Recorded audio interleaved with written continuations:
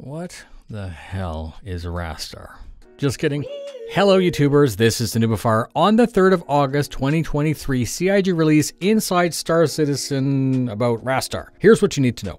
Jared introed the topic by confirming that Rastar is the system that is used to procedurally place objects in Star Citizen. More work has let the developers use this on more locations. They are currently tracking over 70 UGFs. They needed Rastar to fully update the variety of these, and now is the time that we might see this. A placer and a modeler in one tool. Since last year, they're very happy with the updated tool. The current demo that we were shown is the new-ish UGFs that are scouted and placed, and I said newish because they did specify that what we were shown now isn't the current system that is being worked with, which is even better and I expect that this info is being held back so that we will have something to see at CitizenCon large chunks of a base are dropped at once. You can clearly see a grid to display the terrain, the shape of the terrain, but it's also automated, saving time. You drop the base and the terrain will automatically move into position. The defensive turrets are selected and placed based on the type. Large and small dressing components are next, and these will also be selected to be appropriate to the purpose of the UGF, so